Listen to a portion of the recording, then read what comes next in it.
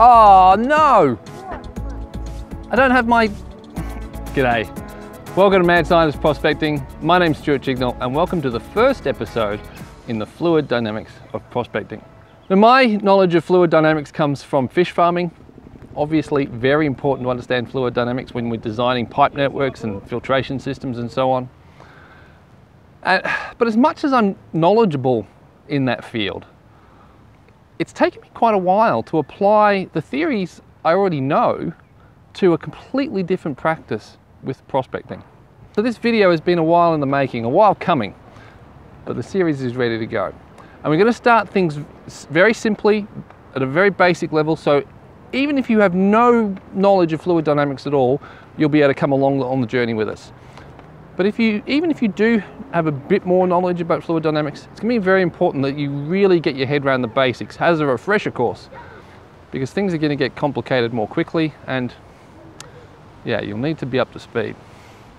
Today, we're going to be talking about the relationship between the flow of water, the velocity of flow, and the cross-sectional area of flow, and how understanding how those three different attributes interact with each other really affects what happens with the flow of the water and particularly the entrainment of particles like gold within the flow.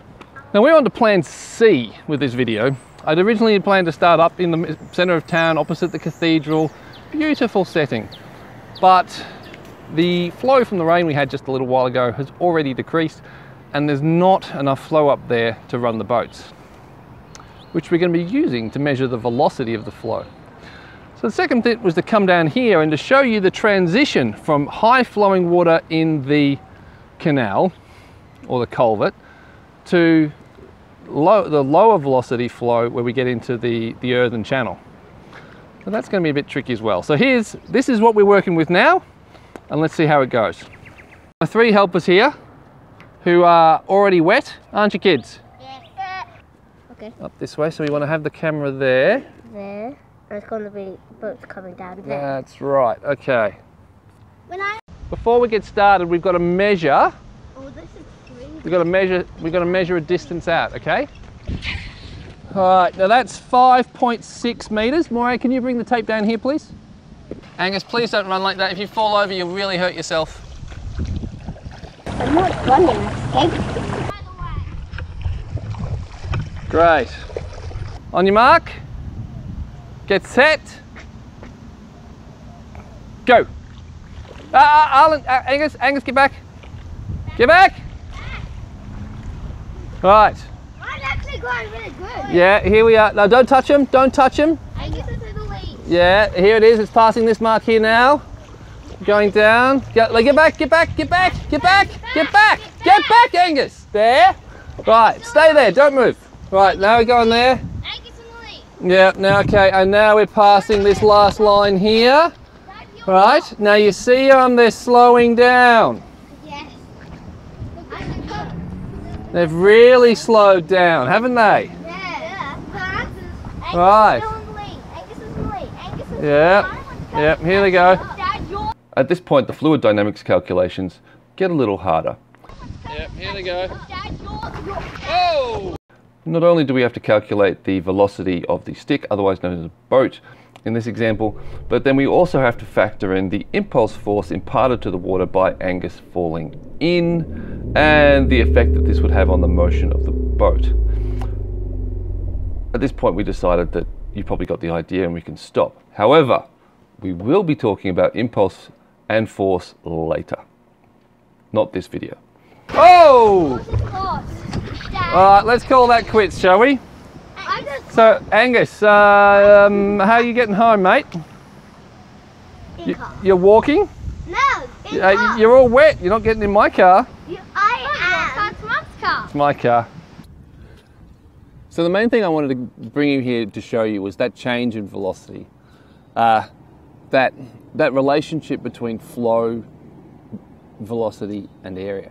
Now, in standard fluid dynamics texts, uh, that expression is written as Q equals VA. But as prospectors, the systems that we're looking at, like a creek or a sluice, the the flow is going to be pretty much constant. Like if we go way upstream, it's probably going to go down. If we go downstream a ways, it's probably going to go up. But right here where we are, you know, the few meters downstream and the however far upstream we care about, that flow is going to remain unchanged. But what we care about is velocity because it's the velocity of the water that indicates what is happening with the forces within the flow. And it's those forces that are involved in picking up gold when they are increasing and then dropping gold when they decrease.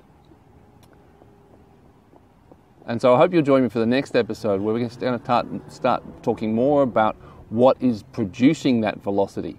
Because while the velocity increases when the area of flow constricts, it's not that area that produces the velocity. It's something else entirely. And we're going to be talking about that in the next episode.